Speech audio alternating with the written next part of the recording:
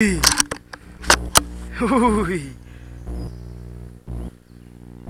Asoma, asoma la cabeza.